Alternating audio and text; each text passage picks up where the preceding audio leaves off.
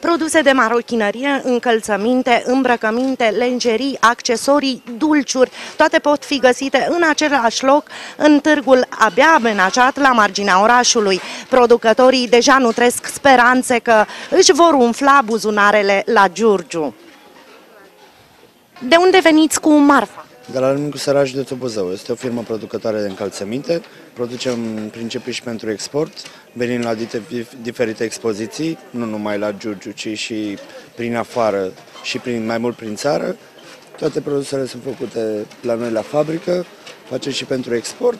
Am zis să încercăm și Giurgiu. Probabil... Ați mai fost la Giurgiu? Uh, au mai fost, dar eu personal nu, azi colegi de-ai mei și au fost foarte mulțumiți. Lumea este deschisă în principiu, sunt foarte serviabili, foarte prietenoși, sunt persoane foarte bune și foarte ok, sincer vă spun.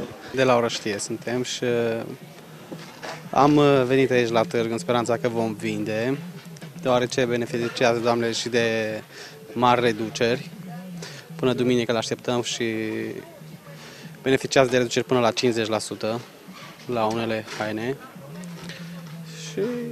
Și cred că ar trebui orice doamnă care se respectă și ar dori o hainiță de blan așa elegant.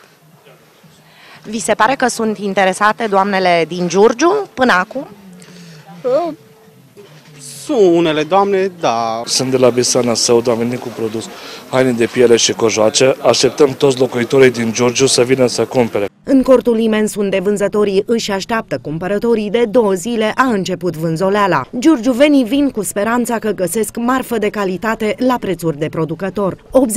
80% din produsele care se găsesc în standurile târgului sunt de proveniență autohtonă. Doamnele sunt seduse de blănuri și încălțăminte, iar domnii cu siguranță vor găsi o ținută pentru sărbătorile care se apropie. Cum vi se par produsele? Foarte frumoase. Prețurile? Accesabile accesibile. Ați venit hotărâtă să cumpărați ceva? Deocamdată trecem în revistă. Convenabile la preț.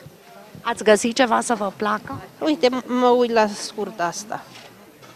Ați venit hotărâtă să cumpărați sau doar să vedeți despre ce e vorba? Să cumpăr ceva, dacă e mai ieftin față de magazin, preț de producător,